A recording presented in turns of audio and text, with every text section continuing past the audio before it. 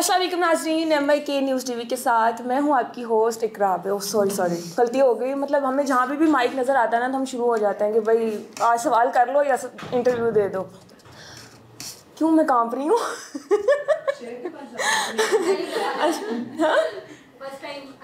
नहीं नहीं। पहले एक दफ़ा हो चुकी चलो कोई मसला नहीं है। अच्छा। ख़ुद को बता रही हूँ कि कोई मसला नहीं आप लोगों ने नहीं परेशान होना। है स्टार्ट करते हैं कि गाँव से आके लाहौर जैसे बड़े शहर में अपने लिए जगह बनाना इंतहाई मुश्किल था। और आप लोग बात करते हैं यहाँ की स्ट्रगल की। मैं बात करती हूँ अपने गाँव की स्ट्रगल की, क्योंकि वहाँ पे जब मेरी पहली वीडियो आई थी तो लोगों ने कहा था, फलाने दी थी नेट चढ़ गई।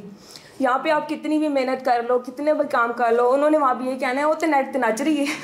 वो क्या काम कर रही है? वो खैर ये हुआ कि जब लाहौर में आई एजुकेशन नहीं थी, आप सब यहाँ पे एम एस मैथ कम्युनिकेशन करके बैठे हैं और मैं थी इंटर पास यही था कि भाई कौन जॉब देगा? जब जॉब के लिए सर्च किया तो डेवो में एज अ बस होस्टेस दो साल मैंने काम किया।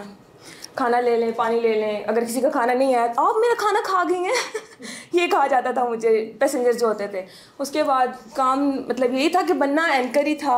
एक टाइम आया, मैंने कहा, नहीं, डेवो में तो काम नहीं हो रहा, अब चलते हैं आगे। उसके बाद मैंने एक रेस्टोरेंट में, मेरे से पिज़्ज़ा ले लो बर्गर ले लो, ये शर्मा ले लें। पिज़्ज़ा के साथ फ्राइज़ थोड़े से ऐड करवा लें बिल ज़्यादा बन जाएगा तो मेरी अच्छी वो हो जाएगी कि भाई अच्छा सेल कर रही है।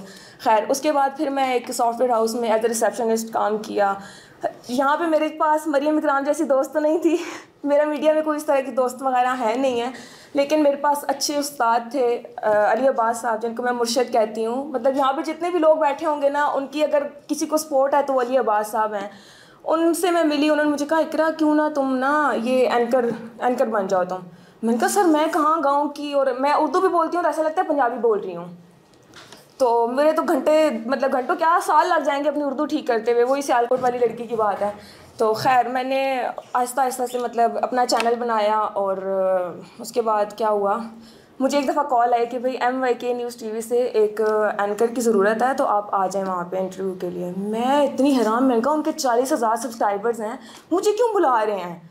तो खैर, मैं गई, मैंने इंटरव्यू दिया और उसके बाद मैंने मतलब सिलेक्शन हो गई मेरी और मैं हैप्पी हूँ। मैंने अबू को बताया, मैंने कहा, अबू, ये हो गया, मैं कर लूँ, बैठ के इंटरव्यूज़ करने हैं सिर्फ़। कोई इसमें वो ड्रामा वगैरह तो कर नहीं रही मॉडलिंग नहीं कर रही हूँ। आराम से बैठ के क्वेश्चन करूँगी, लोग भी कुछ भी नहीं किया। वो कहते हैं, ठीक है, कर लो। अपनी दादी को मैंने बड़ी, उनकी ना आई साइट वीक है। मैंने उनको बड़ी सी एल ई लगा के दिखाया कि भाई, ये देखे दादी, इस तरह मैं इंटरव्यू करूँगी, इस तरह लोगों से मिलूँगी, ये होगा खैर, बात जब आई स्टार्ट करने की तो पॉलिटिकल किया।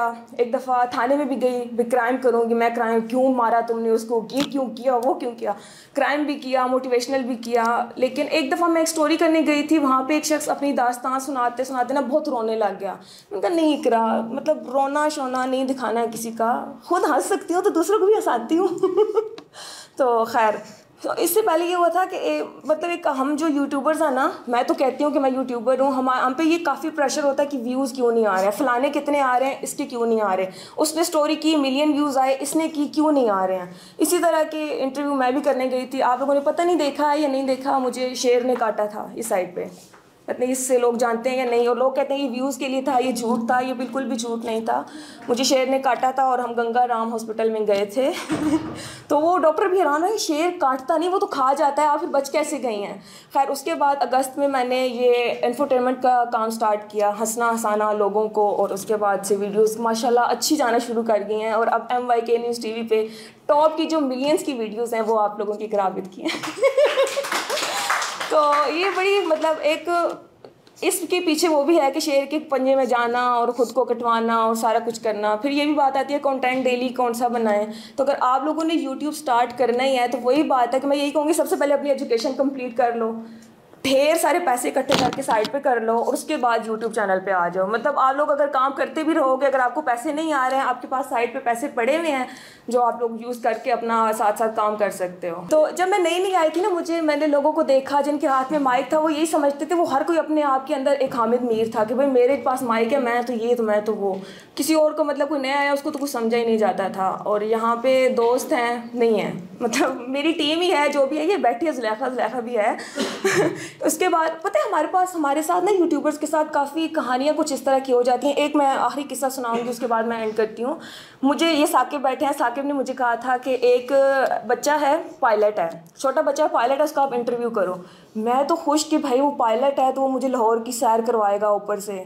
तो मैं बाकी उसकी वीडियोस वगैरह नहीं देखती हूँ कि मैं जब भी इंटरव्यू करने जाती हूँ मैं इंटरव्यू करने जाती हूँ तो मैं किसी का भी पहले वीडियो नहीं देखती हूँ, क्योंकि वो फिर ये होता है कि भाई कॉपी कर रहे हैं, ये कर रहे हैं, वो कर रहे हैं। तो मैं नहीं देखती। मैं मैं एक्साइटेड मेरे cameraman excited driver excited cameraman कह रहा है एंकर जाएगी तो मुझे तो साथ जाना ही पड़ेगा। ड्राइवर कहते, चलो, हम लोग तो नीचे बैठ के देख लेंगे।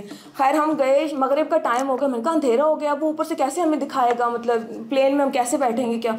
हम गए इकबाल टाउन में, किसी आगे जगह पे गए और वो हमें ना ऊपर लेके जा रहा सीढ़ियों पे घर के और जब उसने यूँ अपना दरवाज़ा ओपन किया और वो इतना सारा प्लेन ना बेड पे पड़ा हुआ।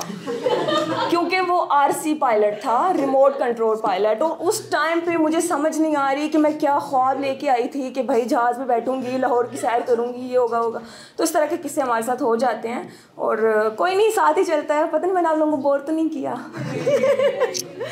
और क्या बताऊँ अच्छा है, काम स्टार्ट करें यूट्यूब का, और एक व्यू पे आपको एक लाख आएगा। ये मैं आपको गारंटी देती हूँ। Thank you so much